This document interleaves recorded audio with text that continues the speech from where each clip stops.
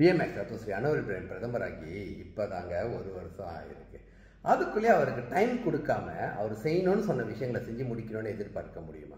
மற்றவங்களுக்கு மட்டும் நாற்பது ஐம்பது வருஷம் கொடுத்தோம் அப்படின்னு நினைக்கிறீங்களா? இல்லை ஒரு வருஷம் தான் ஆனாலும் செய்யணும்னு சொன்ன விஷயங்களை செஞ்சு முடிக்கிறதுக்கு அறிகுறியாச்சும் இருக்கணுமே அந்த மாதிரி எதுவுமே தென்படலையே அப்படின்னு நினைக்கிறீங்களா?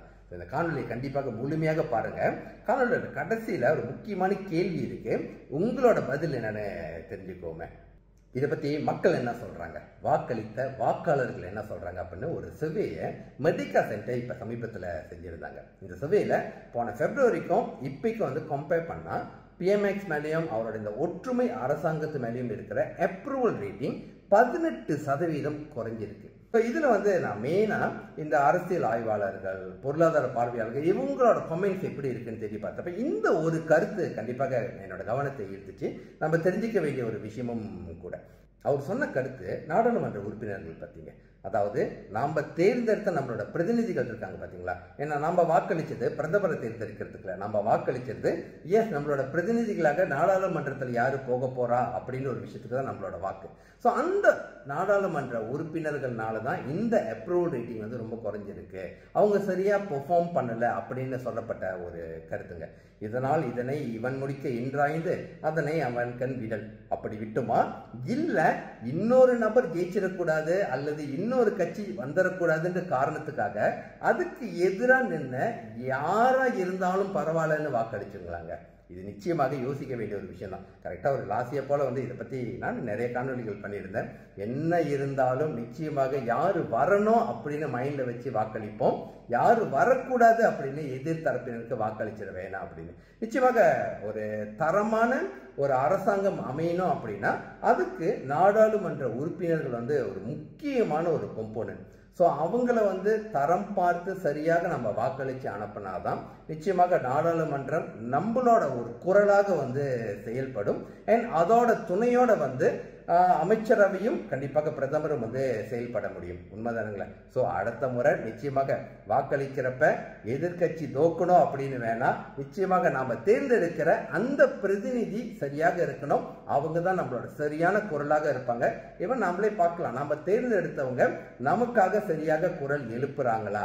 அவங்க ஆக்சுவலி நாடாளுமன்றத்துக்கு போறாங்களா இல்லையான்னு செக் பண்ணுறோமா கண்டிப்பாக வந்து செக் பண்ணுங்க. ஏன் அது மட்டும் இல்லைங்க இந்த நாட்டில் இந்தியர்களோட பொருளாதாரம் கல்வி போன்ற நிலைகள் கவலைக்கிடமாக இருக்கு. அதில் வந்து கவனம் கண்டிப்பாக செலுத்தணும் அப்படின்னு பல மேடைகளில் போன தேர்தலுக்கு முன்பாக வந்து பிஎம்எக்ஸ் சொன்னது நம்ம எல்லாத்துக்கும் இன்னும் ஞாபகம் இருக்குன்னு நினைக்கிறேன். அந்த ஒரு விஷயங்களை வந்து செயல்படுத்தப்படுதா அல்லது அதுக்குண்டான அறிகுறிகளும் இருக்கா? இதுவும் கண்டிப்பாக வந்து ஆதங்கத்துக்கு உண்டான ஒரு விஷயம் தாங்க ஸோ நிச்சயமாக முழு பழியும் தூக்கி நம்ம அவர் மேலேயும் போட முடியாது. நாம் தேர்ந்தெடுத்த பிரதிநிதிகள் அதை கேட்குறாங்களா? அல்லது எந்த பிரதிநிதிகள்கிட்ட போய் நம்ம கேட்குறது? இந்த கேள்வியும் அந்த இடத்துல இருக்குங்க. ஸோ இதை பற்றி நான் இப்போ சமீபத்தில் இந்த செவேரிதாரில் வச்சு என்னோட நண்பர்கள் மத்தியில் ஸோ தீவிரமான பிஎம்எக்ஸோட ஆதரவாளர்கள் பிஹெச் வந்து கண்டிப்பாக ஆட்சிக்கு வரணும் அப்படின்னு வந்து வேதிக்கிட்டு இருந்தவங்க அவங்ககிட்ட வந்து பேசிக்கிட்டு இருந்தப்ப வந்து எல்லாருமே இந்த ஆதகத்தையும் இந்த இருக்கிற இந்த வீக்னஸ் இது கண்டிப்பாக வந்து அக்ரி பண்ணிக்கிட்டாங்க. ஆனால் ரொம்ப முக்கியமான ஒரு கேள்வி இது அவங்க என்கிட்ட கேட்டப்பே நான் அவங்ககிட்ட கேட்டப்பே எங்களுக்கு பதில் இல்லை. அதாவது சரி பேமேக் சரியாக பெர்ஃபார்ம் பண்ண மாட்டாரு இப்போதைக்கு இல்லை இதே மாதிரி நிலைமை நீடிக்குது அப்படின்னா அடுத்தது யார்? இவருக்கு பதிலாக நாட்டோட பிரதமராகவோ அல்லது அரசாங்கத்தை வழி நடத்துறதுக்கோ அடுத்து யார் இருக்கா? ஏன்னா முந்தி நம்ம வந்து கம்ப்ளைண்ட் பண்ணிக்கிட்டு இருந்தப்ப சரி இதுக்கு பதிலாக இவர் வந்தால் வாய்ப்புகள் இருக்கு அப்படின்னு எதிர்பார்த்து அந்த ஒரு ஆல்டர்னேட்டிவ் எப்பயுமே இருந்துக்கிட்டே இருந்துச்சு. ஆனால் இப்போ தற்போதைய இருக்கிற அந்த அரசியல் சூழ்நிலையில் அந்த ஆல்டர்னேட்டிவ் இருக்காங்க. ஸோ நீங்கள் சொல்லுங்கள் உங்களோட பதில் என்னது? இவருக்கு அப்புறம் அல்லது இவர் பெர்ஃபார்ம் பண்ண முடியாட்டி அடுத்த தலைவராகவோ பிரதமராகவோ இவன் கட்சியாகவோ இதை வந்து செய்யக்கூடிய அந்த ஒரு தரம் அல்லது அந்த ஒரு என்ன சொல்லுவாங்க கமிட்மெண்ட் யாருக்கிட்ட இருக்கு அப்படின்னு உங்களோட கருத்துக்களின் கீழே கமெண்ட் பாக்ஸில் கண்டிப்பாக பகிர்ந்துக்கிட்டு இந்த காணொலியும் பகிர்ந்துக்குங்க. எப்பயுமே சொல்ற மாதிரி தாங்க நிச்சயமாக நாடு நல்ல திசையை நோக்கி போகணும் முன்னேறி வரணும் அப்படின்னா ஒவ்வொரு குடிமகனும் ஒவ்வொரு வாக்காளர்களும் அரசியல் பழக வேண்டும்.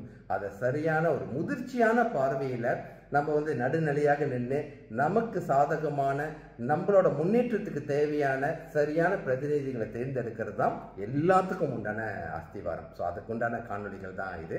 அரசியல் பழகுவோம். ஸோ உங்களோட கருத்துக்களையும் வந்து கண்ணியமான முறையில் பகிர்ந்துக்கிறதுக்கும் வந்து பழகிக்கும். இந்த காணொலியும் பகிர்ந்துக்க. அண்ட் அன்சர் பண்ண மறந்துடாதீங்க. இவர் இல்லாட்டி அடுத்தது யார் இருக்கக்கூடிய அந்த வாய்ப்புகள் இருக்கு அப்படின்னு உங்களோட எண்ணங்களையும் அந்த பெயர்களையும் கீழே கமெண்ட் பாக்ஸில் பகிர்ந்துக்குங்க.